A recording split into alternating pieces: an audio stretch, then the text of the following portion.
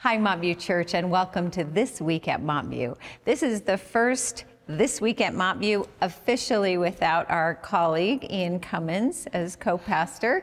We had a wonderful weekend celebrating him and his last Sunday.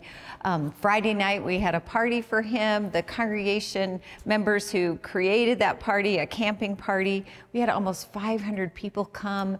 It was incredible. Such, so much fun. Yeah, so, so much, much fun. fun. And then Sunday was beautiful. His last Sunday, it really was spectacular. This congregation knows how to say goodbye and celebrate. Say it so well. Yeah. yeah.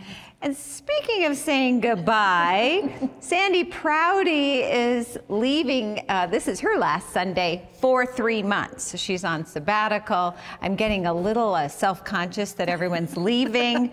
Please come back in three months. But we're so glad that you get a sabbatical. And so uh, this weekend is your last Sunday. Oh, I'm so grateful to the Personnel Committee and the session and my colleagues and this faith community for this opportunity to be away. Yes. But I'll be back in August and I'll be thinking of you all during my time away.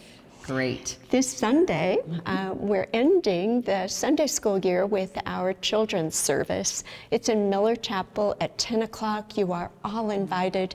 The children do all the parts, including being preachers and liturgists. We have a word to the grown ups. Love our, that. I know. Love it. Our choir will sing, our children's choir, and we have a chance to thank our teachers and the children's committee and the parents who get their children to church on Sunday. So it's a wonderful time. Please come. A reception follows in the McCullen Room. That's great. We are encouraging um, adult um, faith formation to use the children's service to be at the children's service service as um, the adult faith formation class that Sunday.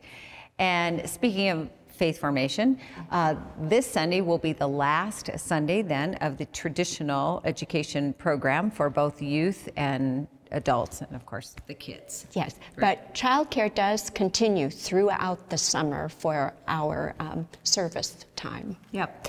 And Memorial Day weekend, the 26th of May, we switch to our summer schedule for worship services at one service at 10 a.m. So that's for the summer. So put that on your calendars. Yes. I think that's it for now. I think it is. Yes. Have a wonderful sabbatical.